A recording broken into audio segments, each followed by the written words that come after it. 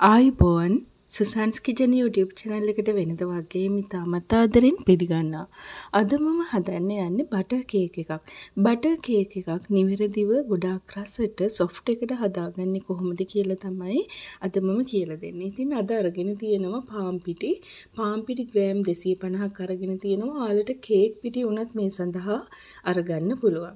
ඒ වගේම baking powder තේ හැඳි දෙකක් අවශ්‍ය වෙනවා.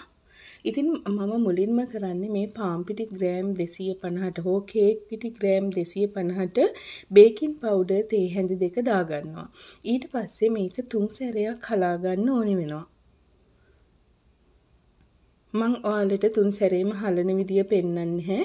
ඉතින් තුන් සැරයක් හලා ගන්න ඕන. මොකද මේ බේකින් පවුඩර් ටික පාන් පිටිත් එක්ක එහෙම නැත්නම් කේක් පිටිත් එක්ක හොඳට කවලම් විය යුතු නිසා. ඉතින් හරි. මං තුන් සැරයක්ම හලලා ගත්තා. ඊට පස්සේ බටර් හෝ මාගරින් අවශ්‍ය වෙනවා ග්‍රෑම් 250ක්. ඒ බටර් හෝ මාගරින් කාමරුෂ්ණත්වයේ තියෙන්න ඕනේ. මං බිත්තර පහක් ගත්ත පොඩි බිත්තර නිසා ඔයාලා කිරලා ගන්න ග්‍රෑම් 250ක්.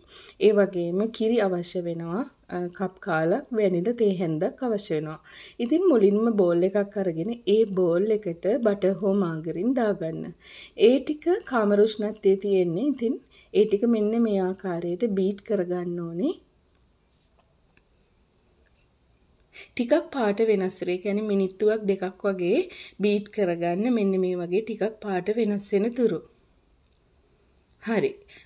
බටර් හෝ මාගරින් බීට් කරගත්තට පස්සේ අපි ඊළඟට එකතු කරගන්නේ සීනි.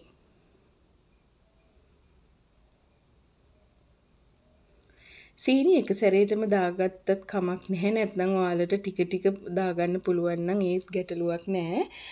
ඉතින් සීනි ටික දමමින් මේ විදියට බීට් කරගන්න.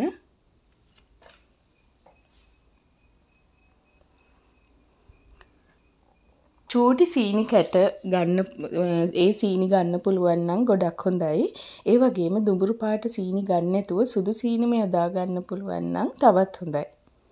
හරි සීනි ටිකක් දාලා සීනි හොඳටම දිය වෙන්න අවශ්‍ය වෙන්නේ නැහැ. මොකද අපි බිත්තරත් එකතු කරලා බීට් කරනකොට මේ සීනි ටික දිය වෙලා යන නිසා. ඉතින් සීනි ටික කුඩු කරගන්න අවශ්‍ය වෙන්නේ නැහැ. කැමති නම් ඔයාලට සීනි කුඩු කරලා උනත් යොදා ගන්න පුළුවන්. හරි සීනි ටිකක් දාලා මේ විදියට බීට් කරගන්න. ඒකත් මිනිත්තුවක් දෙකක් වගේ යද්දි බීට් වෙනවා.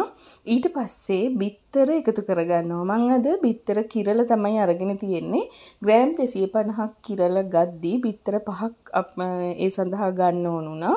ඉතින් පොඩි බිත්තර වගේ වෙද්දි තමයි බිත්තර පහක් ලොකු බිත්තර නම් හතරක් වගේ ප්‍රමාණවත්. හරි ඊට පස්සේ අපි බිත්තර එකින් එක එකතු කරමින් බීට් කරගන්න අවශ්‍ය වෙනවා. එක සැරේටම බිත්තර ටික දාන්න එපා. එක බිත්තරයක් දාලා මිනිත්තු එකහමාරක් විතර බීට් කරගන්න. ඊට පස්සේ ඒ ටික බීට් වුණාම තවත් එක බිත්තරයක් එකතු කරලා නැවතත් බීට් කරගන්න. මේ විදියට බිත්තර පහම මිනිත්තු එකහමාරක් දෙකක් වගේ කාලයක් බීට් කරගන්න ඕන වෙනවා. මොකද අපිට කේක් එක හොඳ උසකට ගන්න නම් මේ විදියට ඒ වගේම සොෆ්ට් එකට හදා ගන්න නම් මේ විදියට බිත්තර ටික හොඳට බීට් කරගන්න ඕනේ. දැන් මම බිත්තර පහම එකතු කරලා බීට් කරගෙන ඉවරයි. ඉතින් ස්පැචුලා එකෙන් මේ වටේටම ගිහිපු කොටස් ටික, ඒ කියන්නේ බිත්තර සහ මේ කේක් පිටි මිශ්‍රණය එකතු කරගන්න වරින් වර ඊට පස්සේ මම වැනිල ටික එකතු කරගන්නවා. වැනිල තේ හැන්දක් දාගන්නවා. වැනිල ටිකක් දාලා මේ විදියට බීට් කරගන්නවා. ඉතින් අද මං වැනිලා කේක් එකක් හදන්නේ. ඉතින් මේ කේක් එකෙන් මං අද බර්ත්ඩේ කේක් එකක් හදාගන්න තමයි අද මේ කේක් එක හදාගන්නේ. ඉතින් මට හිතුණා මේ බටර් කේක් එක හදාගන්න විදිය කොහොමද කියලා ඔයාලට අද අරගෙන එන්න.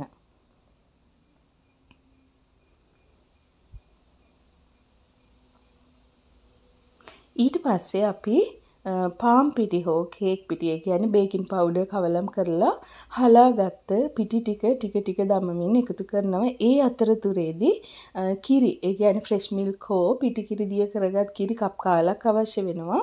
පාම් පිටි දමන අතරේ මේ කිරි මිශ්‍රණයනොත් ටික ටික දමමින් මේ වගේ ෆෝල්ඩ් කරගන්න ඕනේ වෙනවා. මෙතෙන්දී අපි බීට් කරන්නේ මෙන්න මේ ආකාරයට ස්පැචුලහකින් හෝ හැන්දකින් මෙන්න මේ විදිහට ෆෝල්ඩ් කර ගැනීමක් තමයි කරන්නේ. හරි. දැන් මම ඒ ටිකත් ඉවරයි. ඔන්න දැන් කේක් මිශ්‍රණය හදාගෙන ඉවරයි. මෙන්න මේ වගේ මම කේක් කිලෝ එක කේක් එකක් හදාගන්න. ඉතින් මේ වගේ අඟල් 8ක ප්‍රමාණයේ රවුම් කේක් තැටියක් තමයි මම අද යොදාගත්තේ. ඉතින් ඒකේ බටර් හෝ මාගරින් මෙන්න මේ විදිහට ගා ගන්න. ඊට පස්සේ බේකින් පේපර් එකක් අරගෙන ඒක රවුමට කපලා මේ විදිහට වටේටත් කපලා පටි විදිහට කපලා මේ විදිහට හොඳට හරි ගස්ස ගන්න බේකින් පේපර් එකක් දාලා. ඔයාලට බේකින් පේපර් නැත්නම් බටර් හෝ මාගරින් තවරලා ඒකට පාන් පිටි ටිකක් ඉහ ගන්න ඉහලා ඊට පස්සේ කේක් මිශ්‍රණය දාගන්න පුළුවන්. හරි දැන් මම කේක් මිශ්‍රණය දාගන්නවා. ඉතින් වැඩි වැඩ නැතුව හරිම පහසුවෙන් නිවැරදිව කේක් එකක් හදාගන්න කොහොමද කියලා ඔයාලා දැක්කා. ඉතින් මම oven එක ප්‍රීහීට් වෙන්න තියලා තිබුණේ මිනිත්තු 10ක්. ප්‍රීහීට් වෙන්න තියපු oven එකේ කේක් එක දැන් තියාගත්තා.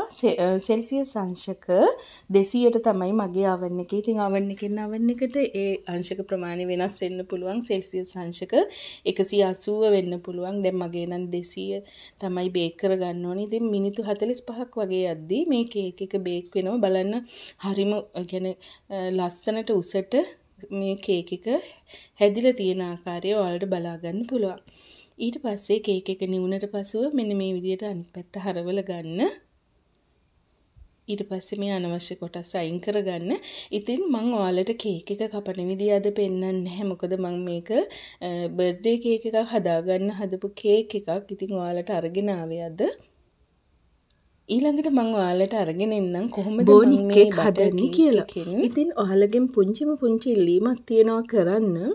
මගේ වීඩියෝ හොඳයි කියලා හිතෙනවා නම් ඒ වගේම ලයික් කරන්න, ෂෙයා කරන්න, ඒ වගේම ඔබගේ වටිනා අදහස් දක්වන්න. මේ වෙන විටත් සබස්ක්‍රයිබ් කරලා නැත්නම් මගේ channel එක සබස්ක්‍රයිබ් කරන්න කියලා ඉතාමත් ආදරෙන් ඉල්ලා සිටිනවා. ඉතින් නැවතත් හමු වෙනතුරු ඔයාලට සුබ දවසක් කියලා ප්‍රාර්ථනා කරනවා.